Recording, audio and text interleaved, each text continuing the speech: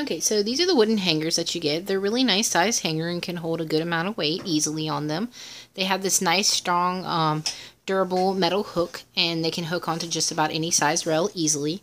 They have a nice little um, lip right here that can you, you can use to hang tank tops and other shirts on so they don't slide off. Um, they also work well for pants because they have this nice little rail across the bottom of them. Really nice quality, really thick and durable, and I like them so far.